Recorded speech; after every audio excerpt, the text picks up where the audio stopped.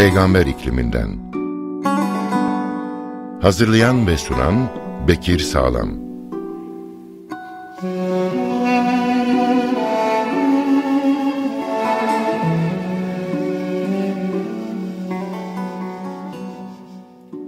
Rahman ve Rahim Allah'ın adıyla. Hamd, alemlerin Rabbi olan Allahu Teala'yadır. Salat ve selam Peygamber Efendimiz'e, şerefli ailesine ve şerefli arkadaşların üzerine olsun. Saygıdeğer kardeşlerim. Hicretin ikinci yılıydı. Kıblenin değişiminden sonra Şaban ayının son günleriydi. Bakara suresinin 183 ve 184. ayetleri nazil oluyordu. Ey iman edenler! Allah sizden öncekilere farz kıldığı gibi orucu sizlere de farz kıldı. Her türlü yanlışlıktan, ahlaksızlıktan, kötülükten sakınasınız diye. Hayatı derin bir bilinçle Allah için yaşayasınız diye. Sayılı günlerde oruç tutun. Ancak hasta olanlar veya seyahatte olanlar tutamadığı günler sayısınca orucu başka günlerde tutsun. Oruç tutmaya gücü yetmeyen ve tutamayanlar fidye olarak bir yoksulu doyurmakla sorumludurlar. Her kim gönlünden koparak iyiliği artırırsa kendisine iyilik yapmış olur. Ama oruç tutmanız fidye vermek ve kazaya bırakmaktan daha hayırlıdır. Keşke bunu bilseydiniz buyruluyor. Oruç müminlere farz kılınıyordu. Müminler Medine'ye geldiklerinde Yahudilerin Muharrem'in 10. gününde oruç tuttuklarına şahit oluyorlardı. Nedeni sorulduğunda Yahudilerin cevabı, Muharrem'in 10. günü bizler için önemli bir gündür. Çünkü Allahu Teala o gün Musa'yı ve İsrail oğullarını Firavun'un elinden kurtardı. Firavun ve arkadaşlarını suda boğdu. Musa da şükür olarak o gün oruç tuttu. Biz o günün hatırası olarak Musa'ya uyup oruç tutarız diyorlardı. Onların bu sözleri üzerine Peygamber Efendimiz ben Musa'ya ve onun orucunu tutmaya sizden daha layıkım buyurdular. Ve aşure orucu ismiyle bilinen Muharrem ayının 10. günü oruç tuttular. Müslümanların da o gün oruç tutmalarını istediler. Peygamber Efendimizin özenle durduğu bir konu vardı. Tevhid üzere oluşan mümin toplumun tamamen kendine özgü bir toplum olmasını istiyordu. Bu nedenle başka toplumlara benzemekten uzak durulmasını da istiyordu. Efendimiz sallallahu aleyhi ve sellem bir topluma benzeyen o toplumdan olur buyuruyorlardı. Muharrem ayının 10. gününde oruç tutulmasını beyan buyuran Peygamber Efendimiz, Muharrem'in 9. günü de oruç tutmak suretiyle Yahudilere muhalefet edin buyuruyorlardı. Ayrıca Peygamber Efendimiz her ay üç gün oruç tutmaya büyük bir özen gösteriyorlardı. Hicretin ikinci yılının Şaban ayının son günlerinde nazil olan ayetle oruç farz kılınıyordu. Ey iman edenler! Allah sizden öncekilere farz kıldığı gibi orucu sizlere de farz kıldı. Muttaki müminlerden olasınız diye buyuruluyordu. Hazreti Selman radıyallahu an anlatıyor. Şaban ayının son günü Allah'ın Resulü bizlere şöyle hitap etti. Ey insanlar! Büyük ve bereketli bir ay gölgesini üzerinize saldı. Bu ayda bin aydan daha hayırlı olan bir gece Kadir gecesi vardır. Allah bu ayın orucunu farz kıldı. Gecelerini ibadetle değerlendirmeyi de öğütledi. Allah'ın sevgisine ermek için kim de bu ayda bir farz yaparsa bu ayın dışında 70 farz yapan kişi gibi sevap alır. Bu ay sabır ayıdır. Sabrın mükafatı ise cennettir. Bu ay yardımlaşma ayıdır. Müminlerin rızıklarının artırılacağı aydır.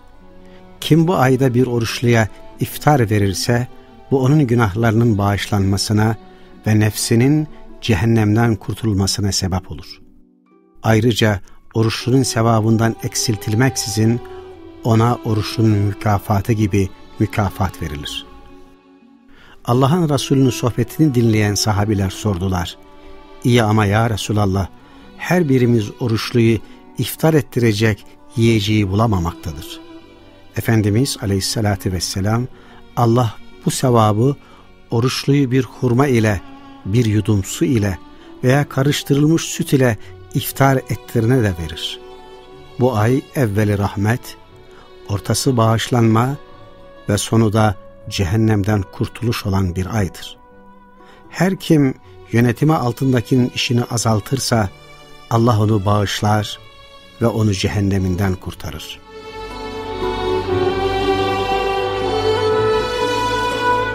Bu ayda dört ameli çok yapınız. Bunlardan ikisiyle Rabbinizi razı edersiniz. İkisini yapmaya ise daima muhtaçsınız. Rabbinizi hoşnut edeceğiniz iki amel, Allah'tan başka hiçbir ilah olmadığına şehadet etmeniz ve ondan affınızı talep etmenizdir. Yapmaya muhtaç olduğunuz iki amel ise Allah'tan cenneti istemeniz ve cehennem ateşinden ona sığınmanızdır. Her kim oruçluya su içirirse Allah ona benim havzımdan su içirir ve o cennete girinceye kadar bir daha susamaz buyuruyor. Oruç bizden önceki müminlere de farz kılınmıştı. Oruç bütün peygamberlerin hayatında, onların ümmetlerinin hayatında ana çizgilerden biriydi. Tevhid yolcularının manevi iklimini terennüm ettikleri kutlu bir ibadetti oruç. Namaz ve oruç Rabbani armağanlardı. Gayb aleminden müminlerin dünyasına sarkan gonca güllerdi. Ruhların hayat bulduğu gonca güllerdi. Müminler bu gonca gülleri kokladıkça koklarlardı ve her biri doyumsuzluk halet içinde olurlardı. Peygamber Efendimiz öyle buyururdu.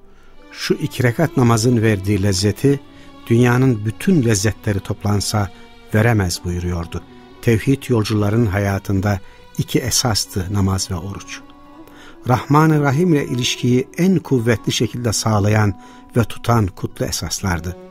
Peygamber Efendimiz bir gün kuşluk vaktinde kahvaltı yapıyordu. Bilal Efendimiz hane-i saadete geldi. Efendimiz Aleyhisselatü Vesselam buyur ya Bilal diye sofraya davet etti. Bilal Efendimiz bugün niyetlendim, bugün nafile oruç tutuyorum ya Resulallah dedi. Peygamber Efendimiz bilesin ki ey Bilal kemiklerin dahi Sübhanallah diyor. Efendimiz sallallahu aleyhi ve sellem bir hadis-i şeriflerinde oruç gibisi yoktur buyuruyorlar. Asıl ilerleme insanın insanlığındaki ilerlemeydi. Asıl olgunlaşma insanın insanlığında olgunlaşmasıydı. Asıl gelişim ahlaki çizgideki gelişimdi. Hakikatte oruç insanın kemalata doğru yürüyüşüydü. Ahlaki gelişimini gerçekleştirmekti. Peygamber Efendimiz ben güzel ahlakı tamamlamak için gönderildim buyuruyordu. Mümin insan güzeldi ama yetmezdi. Daha güzel mümin olmak için gayret edecekti. Yine yetmezdi. En güzel müminlerden olabilmek için çaba sarf edecekti. Oruçla ilgili ayetin sonu öyle bitiyordu. لَعَلَّكُمْ تَتَّقُونَ Umulur ki muttakilerden olursunuz buyruluyor. Oruç mümini kucaklıyordu alıyordu, muttaki mümin olmaya doğru yükseltiyordu. Önce arı duru bir inanç zemini oluşturuyordu. Tevhid ile çelişen ne varsa onları izale ediyordu. Allah ve Resulüne kayıtsız şartsız teslim olmuş bir gönül inşa ediyordu. Güçlü bir iman oluşturuyordu. Yani önce güçlü bir imandı. Bu takvanın birinci zeminiydi. Şirkin bütün boyutlarıyla hayattan atılmasıydı hayattan silinmesiydi. İkinci zemin hayatı İslami esaslara göre yaşamaktı. İman kalpteydi. Onun yaşanır hale gelmesi hayatta vücut bulmasıydı. Mümince bir hayatta öncelikle ve öncelikle haramlardan arınma vardı. Hayatı haramlar denilen kirli hallerden kurtarmaktı. Temiz bir hayatı gerçekleştirme çabasına girmekti. Bu madalyonun bir yüzüydü. Öbür yüzü farzların yerine getirilmesiydi. Allah'ın kulundan istediklerini hayata egemen kılmaktı. Üçüncü zemin ise hayatı nafile ibadetlerle donatmaktı, kuşatmaktı. Nafile ibadetler muhteşem bir iklimdi. İbadette yoğunlaşmaktı. Hayata Rahman-ı Rahim'in zikrinin oturmasıydı. Bir bilgemizin ifadesiyle kulun işi Rabbi ileydi. Kul nafile ibadetlerle bunu terennüm eder, bunu derinden yaşardı. Oruçla ilgili Peygamber Efendimizin hadis-i şeriflerinden bazıları şöyleydi. Oruç kötülüklere karşı bir kalkandır. Oruç tuttuğunuz gün kötü bir söz söylemekten sakının. Kötü bir işten sakının ve şamata yapmayın. Şayet birisi söver veya kavga etmek isterse ona ben oruçluyum deyin.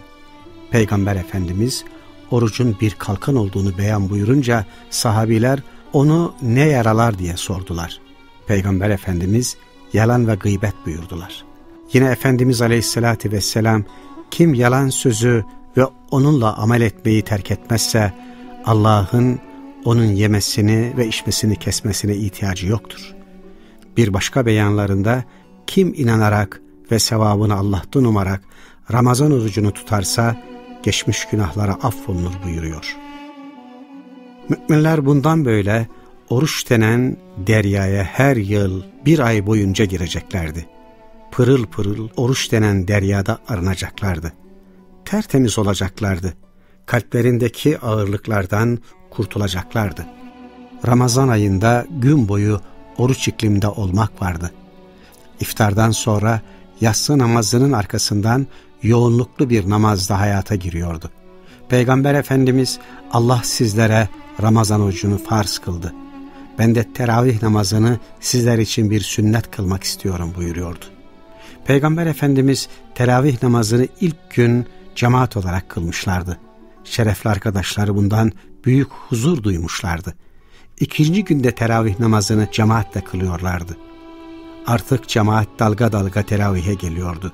Üçüncü gün cemaat toplanmıştı ama Efendimiz aleyhissalatü vesselam haneyi saadetlerinden çıkmamışlardı.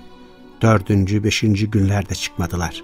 Ve sonra Peygamber Efendimiz eğer sizler için farz olursa uygulamada sıkıntıya düşeceğinizi düşündüm buyurdular. Hoşça kalın, Allah'a emanet olun. Peygamber ikliminden Hazırlayan ve sunan Bekir Sağlam